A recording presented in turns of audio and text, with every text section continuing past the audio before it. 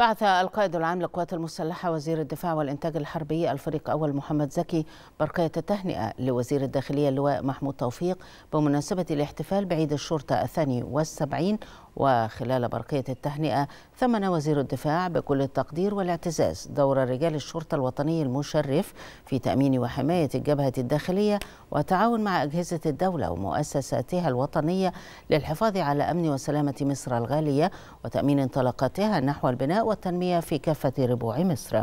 كما بعث رئيس أركان حرب القوات المسلحة الفريق أسامة عسكر ببرقية تهنئة مماثلة لوزير الداخلية بهذه المناسبة.